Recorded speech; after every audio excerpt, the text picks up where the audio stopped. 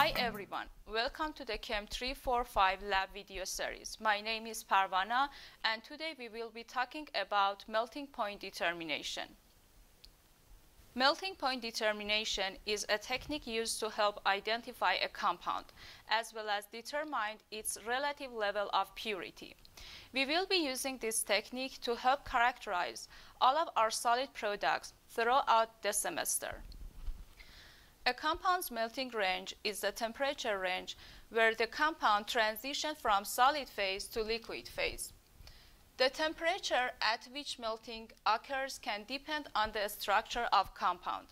Exemplifies the relationship between the structure and chemical properties. This is why different compounds have different melting points. Note that unlike the boiling point, melting point is unaffected by environmental pressure changes. A compound's melting point is drastically affected by the impurities due to variances in the intermolecular forces between different compounds.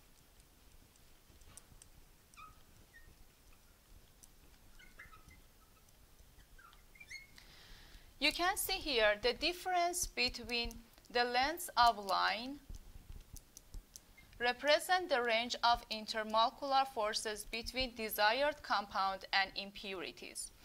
Impure compounds show broad melting ranges of up to 6 to 7 degrees Celsius.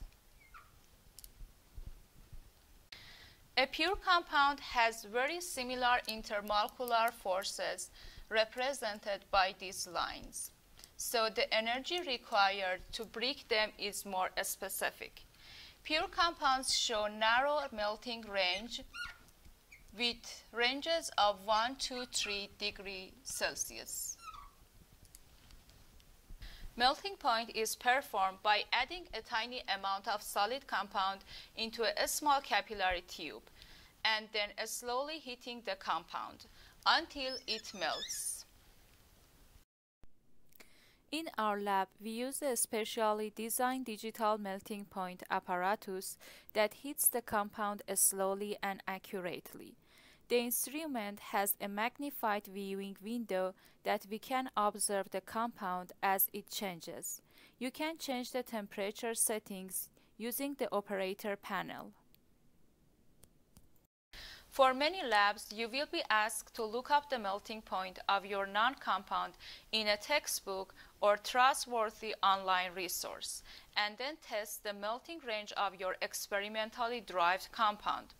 You will compare these numbers to obtain a sense of purity.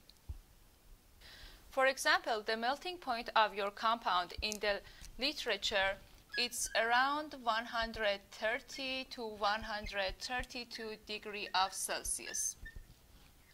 But when you measure the melting point of your compound, it changes from 130 to 138 degrees Celsius.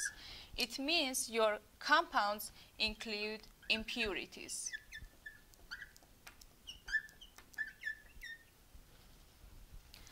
The most common problem for melting point is simply missing the beginning or ending of the melting point range.